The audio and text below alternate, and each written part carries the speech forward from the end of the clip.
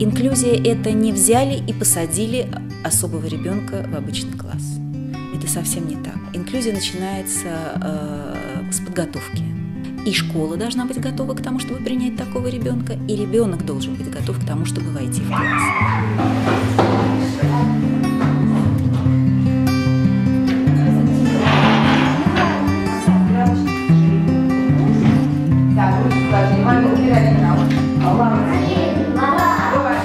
Знаете, чем они меня удивили?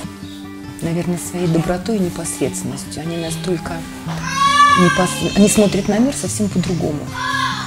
И, наверное, вот правильно говорят, они учат нас доброте. И когда они пришли в класс, два мальчика у меня пришли в класс, и вот они заходят с такой искренней улыбкой, они постоянно улыбаются. И детки очень хорошо на них реагируют. Ну, вообще-то каждый ребенок, независимо от того, аутист он или нет, должен получать индивидуальный подход. И на самом деле в наших образовательных школах очень этого не хватает. Наш мир таков сейчас, что понятно, что классно-урочная система в том виде, в каком она задумывалась сто лет назад, сейчас малоэффективна, она плохо работает на самом деле.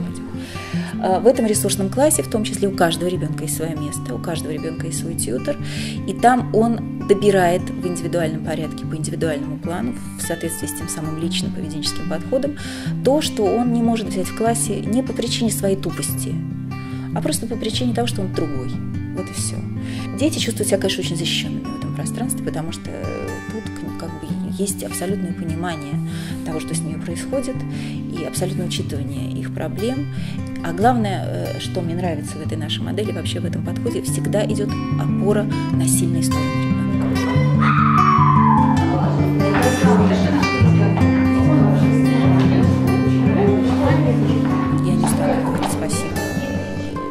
Школе, потому что это совершенно обычная школа. И то, как вообще реагируют учителя, несмотря на то, что называют очень тяжелые ситуации, и бывает кричат дети, то, как реагируют учителя, как реагирует директор, который вообще принял нас с улицы. Мы просто пришли и сказали, ну вот хотите? Он сказал, а давайте попробуем.